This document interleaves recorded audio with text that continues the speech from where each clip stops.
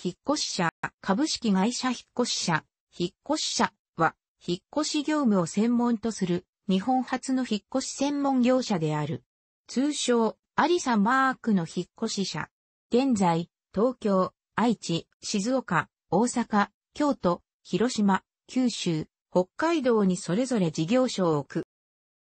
北陸、東北、四国、沖縄には拠点を置いていない。登記上、引っ越し者と引っ越し者関東は別会社であり、事業所ごとにどちらかの会社に帰属する。会社遠隔を確認すると、過去に引っ越し者を分社化し地域ごとのニーズに迅速に対応できる体制を整えていたようだが、現在は吸収もしくは解散を行っているようだ。2006年3月10日に、引っ越し者関西事件の判決、大阪地方裁判所、事件番号平成17年は1301号。繁忙期の在籍を前提に、賞与支給日に前払いされる奨励金は実態として賞与の一部であり、退職に伴う奨励金返還の合意は労働基準法93条違反で無効とされた。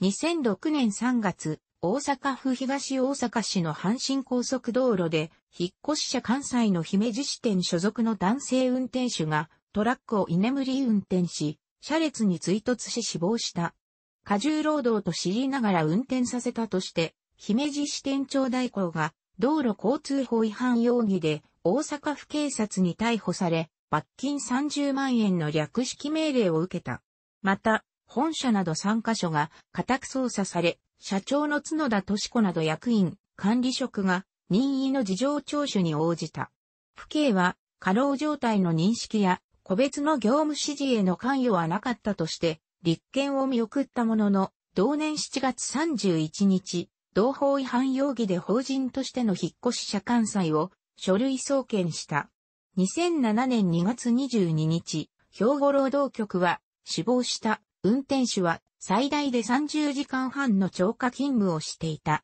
姫路支店長代行は時間外労働に関する協定36協定を結ばないまま基準を超える超過勤務をさせたとして、労働基準法違反の疑いで、引っ越し者関西と姫路支店長代行を書類送検した。引っ越し者関西は深く反省し、再発を防止するとコメントした。同社とグループ会社の社員と元社員計12人が作業で家具が破損した際や交通事故を起こした際などにそれらの弁済費用を給与から転引きされたことが違法であるとして2015年7月31日に計7、0円の支払いを求め名古屋地方裁判所に提訴した。その後元支店長や元人事担当者らも相次いで提訴、引っ越し者グループ各社に対する集団訴訟参加者は2016年2月時点で30人を超えた。この弁済費用は役員会の出席者が各々妥当と思う額を投票し、その平均値を審議結果として従業員に請求すると報道されている。引っ越し者関東の男性社員以下、社員 A の一人が残業代未払いによる労働組合であるプレカリアートユニオンへの加入を理由に不利益な移動命令を受けたとして2015年7月に引っ越し者関東を相手取り東京地方裁判所に提訴した。引っ越し者関東は2015年7月31日に移動取り消しの裁判を起こされると2015年8月11日に社員 A を会社の機密漏洩による会社への名誉毀損などを理由に懲戒解雇とし、この解雇を告知する目的で、社員 A の氏名、顔写真、年齢入りのチラシ、在場ペーパーを自己の権利を主張し、職責を果たしていないと題して、全支店の壁に貼り付けたほか、グループ会社の開放にも掲載するなどし、勤務する職員に向けて、会社ルールの厳守を求める行動をとった。しかし、社員 A が仮処分を申し立てると一転して、解雇を撤回した。2015年10月1日に、引っ越し者関東のオフィス前で、昼時間時に、外線車と拡声器を使った講義を、社員 A が加入している労組、プレカリアートユニオンにより行われていた際に、仕事の邪魔になると拡声器使用中止を求める、引っ越し者関東副社長の井ノ口昌平が出てきたところユニオンの組合員にいきなり激光し、怒号を飛ばし恫喝する部分の動画が公開された。社員 A は10月1日に復職していたが、シュレッダー係として立ち仕事に配置転換されるなどした。2016年2月9日放映のテレビ、東京制作、日経スペシャルガイアの夜明けでは、密着。会社と戦う、者たち長時間労働をなくすためにと題して、これらの経緯を取り上げた。この裁判は2017年5月24日、裁判所から出された社員 A と引っ越し者関東に対する和解提案により決着を迎えた。社員 A は2017年6月1日から営業専任職に復帰することとなり、給与は営業職だった時と同じ水準に戻された。さらに引っ越し者関東は配置転換、懲戒解雇、罪状ペーパーの3件の謝罪も言った。なお、共同記者会見の場でローソと弁護団は残業手当をめぐり社員 A が引っ越し者関東を相手、どった別の裁判を続けていることを明らかにした。2017年5月に解雇の無効などを求めた東京地裁にて会社から営業職への復帰と解決金を受け取ることで和解した。2017年8月23日、東京都労働委員会は社員 A のシュレッダー係への移動に対し、不当労働行為に当たると認定し、救済措置を取るよう命じた。補足、社員 A は2011年1月に入社したが、2015年1月に車両事故を営業車を運転中に起こすと48万円の弁償金を求められ、弁償金48万円を毎月1万円ずつを給与から転引きされるようになった。